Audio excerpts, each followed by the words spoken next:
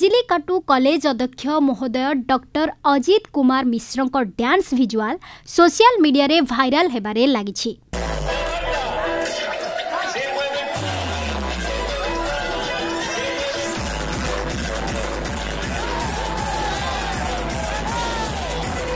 ସୂଚନା ମୁତାବକ ଅଧ୍ୟକ୍ଷ ମହୋଦୟ ସରସ୍ୱତୀ ପୂଜା ଭସାଣୀ ବେଳେ କଲେଜ ପରିସରରେ ଛାତ୍ରମାନଙ୍କ ସହ ଏକ ହଲିଉଡ୍ ଆଲବମ୍ ଗୀତରେ ଡ୍ୟାନ୍ସ କରୁଛନ୍ତି।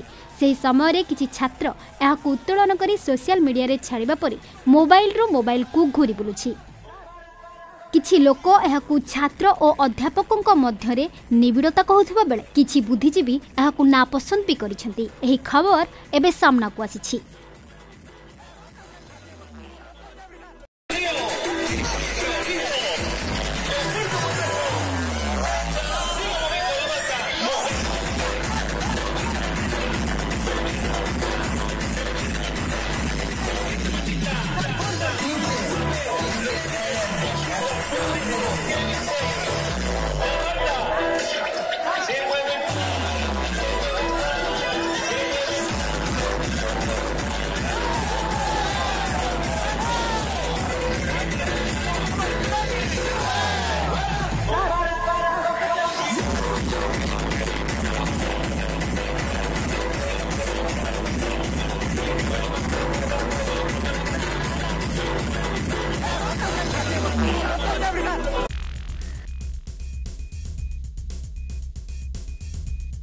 Bureau report ONA